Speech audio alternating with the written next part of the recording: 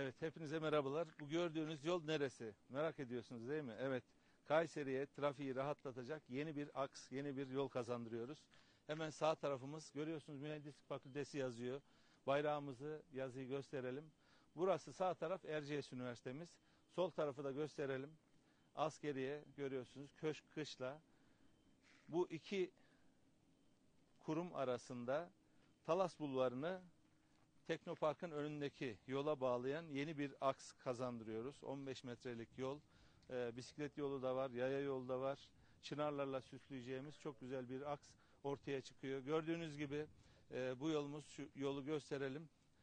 E, ip gibi dizilmiş kaldırımıyla e, ve görüyorsunuz bisikleti bisiklet yoluyla birlikte çok güzel bir aks. Dolayısıyla e, Köşk Mahallesi Yıldırım Beyazıt tarafından gelenler biliyorsunuz üniversitenin içinden geçmeye çalışıyorlar. İşte üniversitenin içinden geçmeye gerek kalmadan Talas Bulvarı'na bu yol vasıtasıyla gelip geçebileceksiniz. Çift yönlü bir yol.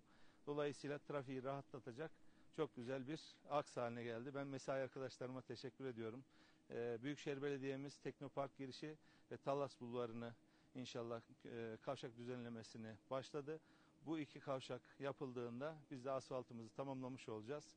Bu yol Kayseri'ye kazanacak. 100 milyon TL'nin üzerinde büyük bir bütçeli bir yol. İki senedir e, uğraştığımız bir yol.